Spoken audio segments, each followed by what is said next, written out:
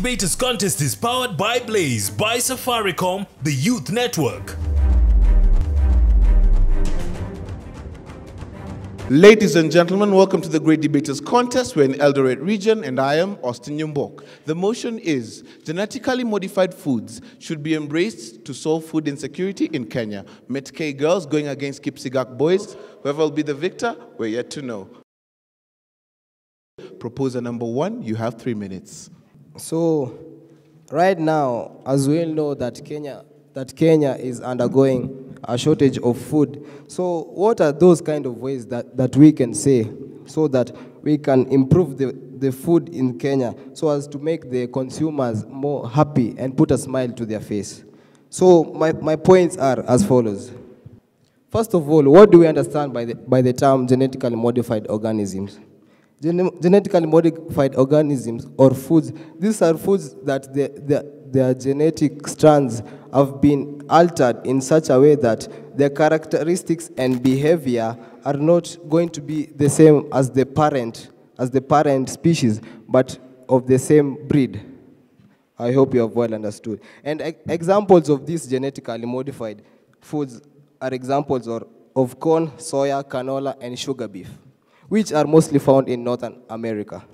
So my first point goes that it leads to production of stronger crops. As we all know that in Kenya, there, is, there are those foods that are not well equipped to withstand the temperatures or high temperature or low temperatures in the country. So with this type of foods, this, we can say that these foods can withstand high temperatures which are found in the northeastern part of Kenya and even to the highlands like we have here in Nandi County. So it can, be, it can act in many ways. It can stay in many areas in which it can prosper and withstand this, these abilities and provide su- sufficient yields and quality. This, my second point is that it, it has, it is high in nutrition value. Because some, as we know, that some of the foods in Kenya, not most of them are nutritious. So you can hear, you will find some people complaining that the foods, they're not nutritious, they should go to, they should be added some, some of the, of the, of, of those chemicals which enable the body to grow and develop more properly. So According to the Food and Agriculture Organization of the United Nations, it has stated that these foods have been engineered that such, in such a way that if it lacks, let's say, for example, vitamins and minerals, they can be equipped in which they will come and satisfy, satisfy the consumers who undergo malnutrition, diseases, and deficiency, in which they will, it will put a happy face on, onto their, they will put a happy smile onto their face. Thank you. And to my third and last point, which I have here, is that, the large, that there will be large production, that there will be large product, production in the, in, the, in the Kenya. You know, many farmers have complained that there are, there are sufficient, there are suf- insufficient type of, let's say, seeds and those cereals that they should go and plant. So what we are saying here generally is that the production in which, let's say, they will Okay. I assume my point is well driven home, and I, and I, I may now rest my case. Thank you. Opposition, you have three minutes to present your argument. Just two months ago, I lost two people that were so dear to me. May their souls rest in eternal peace. I lost my 82 year old grandmother who drowned and sank in the who, who, died, who drowned in the river and died. And I also lost my nine year old brother who died of cancer, which was proven by the doctors that 60% possibilities is that the, that the cancer was caused because of excessive consumption of the genetically modified foods. What are the genetically modified foods? These are foods whose genetic structures have been structurally modified so as to enable them to grow faster and also to be, to be resistant to crop pests and diseases. What is food insecurity? Food insecurity is the condition where the food produced is less than the demand. I strongly stand before you today to oppose the genetic, genetically modified foods simply because this genetically modified foods is just but a sweet word to code the real meaning of poison. Genetically modified foods are poison to us simply because, first of all, they have adverse effects to our health. We are told that genetically modified food are able to produce, to naturally produce herbicides and pesticides so as to be able to make them to counter the effects of insects and pest, crop pests and insects. My dear Kenyans, is that point, does that point need someone to come and knock your head to make you think that we, while, con, con, while we eat this genetically modified food, it simply means that we are eating herbicides, Kenyans. We are eating herbicides and not the food because this food can be able to produce the herbicides, meaning that when you consume them, then we are definitely consuming the herbicides. Also, it has been proven by Dr. John Comin, who is a professor in genetics, that this genetically modified food have the virus that whose effects are just similar to those of HIV AIDS and also the hepatitis B. Me and my friends are doing our best to keep ourselves safe from the HIV and AIDS by, by keeping safe and also not doing what is not expected of us. My dear Kenyans, I'm not ready to die of a virus that is just similar to HIV AIDS while I kept myself safe just by promoting these genetically modified foods. Secondly, these genetically modified foods are sterile to mean that they cannot be planted in more than one season. As Kenyans, we are used to keeping some of the remaining of the grains so as to be able to plant them in the next year. But the genetically modified foods need the genetically modified seeds need to be brought each planting season. This simply means that it's going to be more expensive to us and it's not going to be of benefit to of much benefit to us but of benefit to the company since they since they will be gaining more profit my fellow Kenyans, I'm sure none of you is ready to bury your own son of a cancer that you helped to nurture by promoting the genetically modified foods. So just join us and let's oppose the genetically modified foods. I'm Juana Chebukwa, opposing the motion, Metkei Girls. Thank you. It's now time for rebuttals. May we have the second proposer take the stage? You have three minutes. Ladies and gentlemen, I'm not coughing because of illness, but I'm coughing because I'm allergic with the words that the first opposer said. This because how can herbicides lead to death of their relatives? And he has also said that the herbicide that they took led to the death of their uh, relatives. That is not true. Because in Kenya here, we have Kenya Bureau of and Standards, KEBS, which actually sees on how the quality of the, of the commodities that are taken is safe. And so me, I don't know how they came into eating herbicides. And they know that from, the from the back of their mind that herbicides are uh, poisonous. So how can you take a poisonous commodity? That's a question that I'm posing to you. So back to, my, to the motion, I would like to propose this motion by saying that GMO food will bring to a production of pest-resistant mechanisms in crops. This because the crops are not going to have that so much diseases that maybe these ordinary other crops have. This because the, according to the University of California in San Diego, a report states that they had they done a report which shows that genetically modified organisms in food leads to the production of stronger crops, which in, in turn lead to the production of larger commodities or crops, which actually will bring to the growth of, of many uh, produce, which will solve food insecurity in Kenya. Or rather, we are, going, we are not going to suffer as, as Kenyans depending on ordinary crops or foods, which are going to be affected by pests and diseases regularly. And we have another uh, developed ordinary food, which can be used and cannot, cannot also be attacked by pests and diseases more regularly. So my second point also goes that it leads to the decrease in use of pesticides because a research by scientists have shown that this genetically modified food ca cannot be altered or cannot, cannot lead to the use of many pesticides in order for them to sustain the environment that it is. Because when you take or develop here in Kenya, we are not going to suffer of any uh, food insecurity because no pest or cost that is going to affect the farmer, or rather anything else that maybe the farmer, the young farmers can go and undergo as a challenge. And so this will bring to the good maintenance of our food security, and all as Kenyans, we are going to enter, uh, we are going to be in a good condition, and we are not going to cry of another food disease. So I would like to urge my fellow opposers to cross the, cross the floor and come to our side to promote this GMO in our country. For all that, I rest my case. I go by the name Amon Kipto, Kipsigak High School. Opposition, you have three minutes to make your rebuttal. I had a dream for Kenya that a time will come where Kenya will be able to provide food to sustain its population. But actually, if the food we, we want to produce is meant to kill Kenyans day in, day out, and not in few numbers, in large numbers, you better tell us that you want to actually perform genocide on us instead of actually using good words that genetically modified foods are a solution to our problems. Yet you know that this is killing ourselves day in, day out.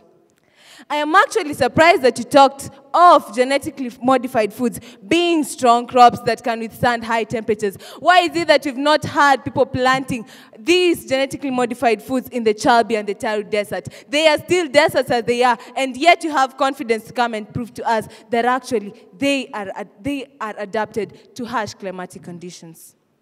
You talked of higher nutritional value. May I remind you that your grandmother does not consume the cabbage that is genetically modified, but she feeds on the traditional food, that managu, that black wheat, that the, the, the black nightshade, and yet you're telling us that they are more nutritious. You just want to kill us all in the name of giving something so bad a good title. It is poison. Genetically modified foods are poison. And if you're ready to mislead Kenyans, if you want to die at the age of 45, as proved by Dr. Sona Pamar of the, in the column of of the Eve girl on the column of health that she said that actually genetically modified foods, if we consume them, each and every one of us is going to have a life expectancy of 55 years. I am not ready to die at the age of 55 years. I want to see my lineage. I want to see my grandchildren. I am not ready to die at the age of 45. If you want to die at the age of 45, die alone and do not perish with the rest of the Kenyans. Kenyans, it's time we took the truth as it is. The longer we live in denial, the more we perish. Genetically modified foods are poison. They contain herbicides. Come to think of it, take a good example of the BT maize that contains Bacillus thuringiensis bacteria. That's in the size as a pesticide that is used to counteract the effect of insects. Yet you're telling us that you're not consuming pesticides. We are turning ourselves into insects. If you're an insect, consume genetically modified foods that are able to, pro- to produce their own insecticides. But if you're a human being like I, be true to your roots like the sun, be true to your roots like the flowers. Have you thought of why each and every time a Kenyan who plants genetically modified foods has to go back to the shop to buy new grains? The companies that are producing these seeds have their interest at heart. They, are, they want to make maximum profit. They are just concerned about controlling the food supply in the world. Take a very good example of the Monsanto company, that is the world's leading company that produces genetically modified foods. They produce sterile seeds, they produce patent seeds that force the consumer to go back to the shop each and every time they want to plant the seeds. It's high time we remain true to our roots. If you have a dream for Kenya, you will support me that actual genetically modified foods are meant to wipe Kenya out of the map of the world. I am a Kenyan, true to my roots. Be Kenyan, true to your roots. Thank you.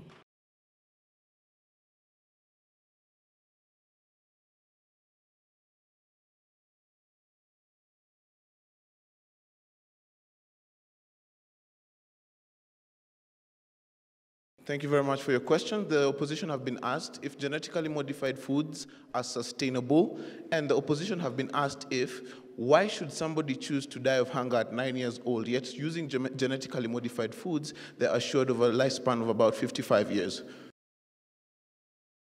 I now invite proposer number three to answer the questions.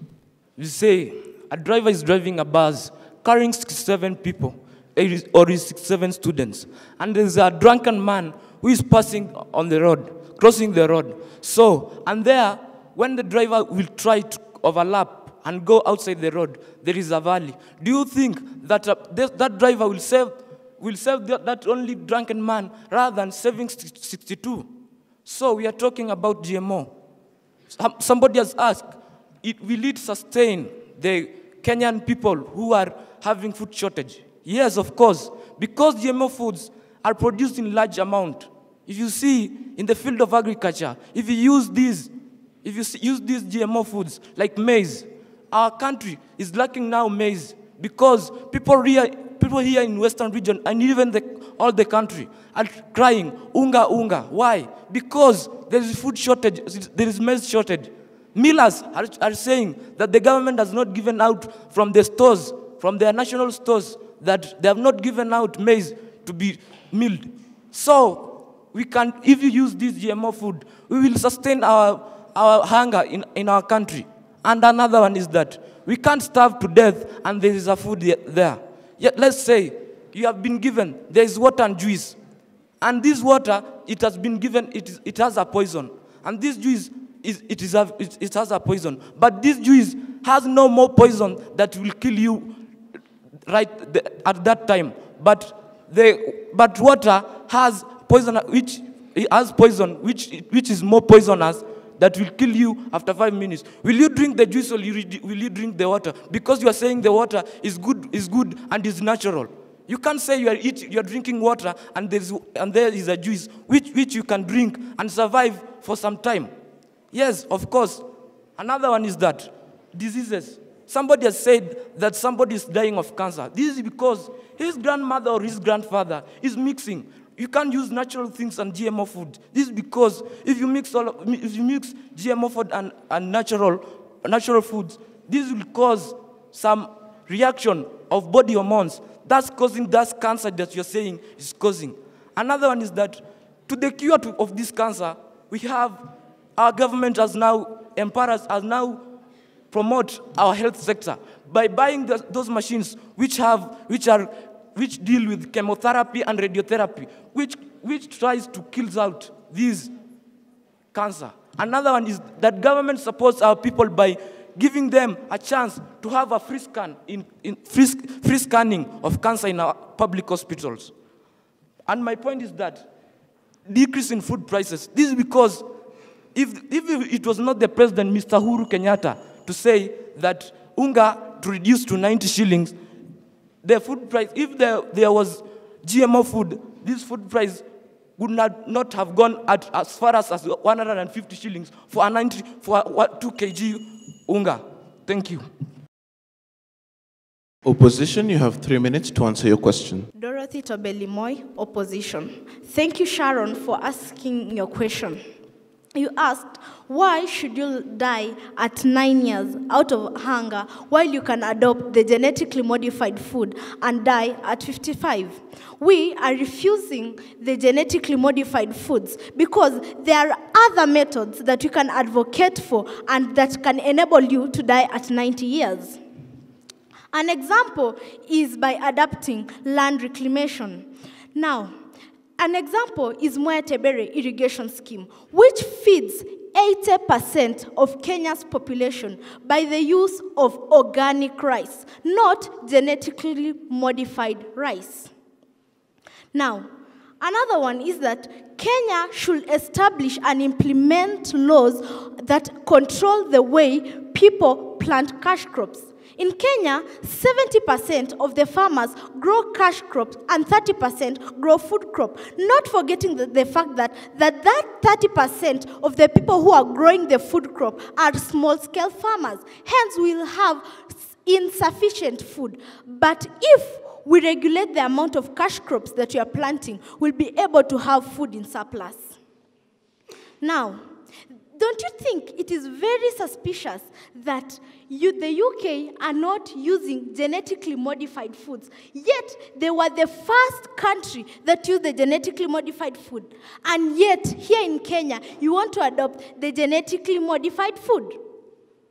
Another one is that the country has slowly adapted to this system. This is because the Center of Disease Control and Prevention has proved that 23,000 of people die yearly out of consumption of genetically modified food. Now, it has not been adapted fully. What if it's adapted fully? More Kenyans will be dying, and Kenya is a developing country. Hence, we are not that mechanized so that we rely on technology that much than labor. Now, if we kill ourselves, how are we supposed to move from developing to developed? Now, the genetically modified foods are also expensive, in that in 2000 they cost 2 million US dollars. In 2005, it, their cost was 6 million US dollars. And now, as we speak, in 2016, it was 16.5 million dollars. Kenya is a developing country. We depend on grants and aids. Now, why should we add more to our plates by adapting to the genetically modified foods while there are other alternatives that we can sort for so that we can, we can, we can, we can provide a solution to food insecurity? When the deal is too good, think twice. Thank you.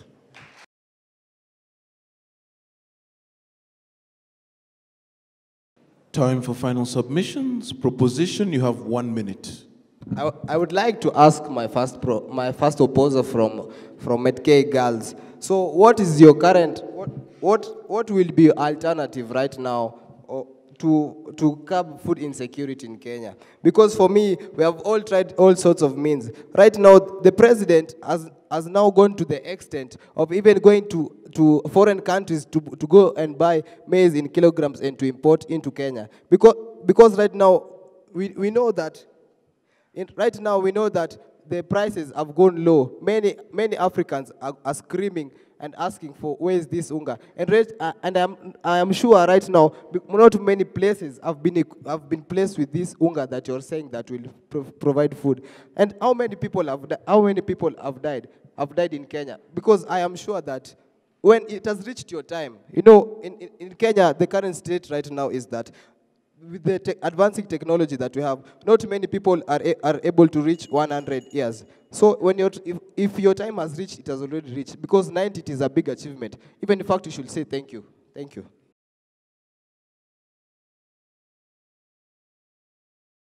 Opposers, you have one minute to make your final submission. To some point, I thought that actually the parable of the lost sheep only exists in the Bible. But I'm surprised that you have a lot of lost sheep in the house. I am a Kenyan and I have a dream for Kenya. And my dream for Kenya is not to kill Kenyans by giving them poison to feed them. I am a true Kenyan and my dream for Kenya is to see Kenya grow to greater heights by adopting other methods, natural methods, invention from ourselves, to see Kenya rise to greater heights, to see Kenya on the world map simply because of our food produ- production. We are not ready to die. And if you're ready to die, die alone and not to the rest of Kenyans. Kenyans, think twice. The deal is too good for us, and we are not ready to perish. I am ready to see my lineage to the end of it. And I believe that none of you here is working to live for 20 years. Each and every one of us here in school, and both our judges here, are working hard and working smart to see their next 100 years so nice. I don't want my 100 years to be reduced to 30 years simply because of consumption of genetically modified foods. Reason with me, and just as Mayovsky said, the home of the Soviet people shall be a home of reason. Let the home of the Kenyan people be a home of reason, and let reason prevail. Thank you. I'm Kamau Catherine, the great Metkei Girls High School.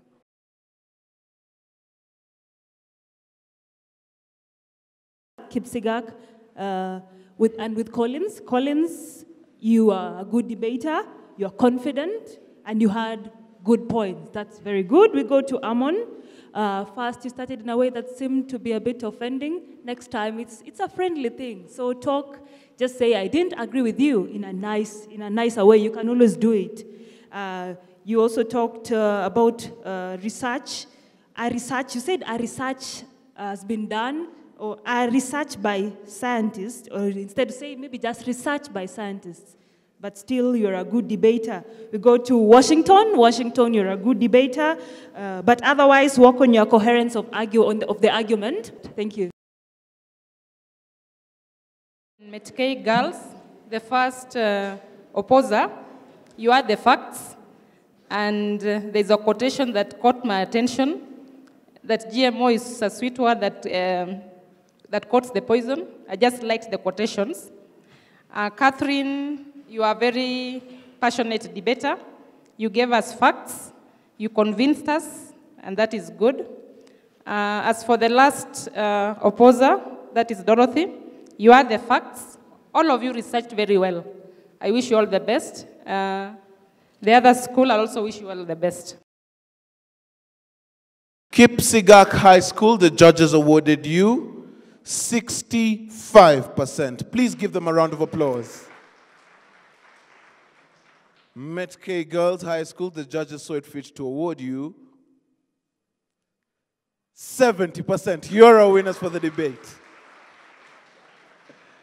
Now, congratulations to the two teams on stage. We'd like to thank our studio audience and our viewers back home. Keep the conversation going on social media, hashtag GDC for SDGs. A big shout out to Safaricom Blaze. I've been your host, Austin Yumbok. Catch you next time.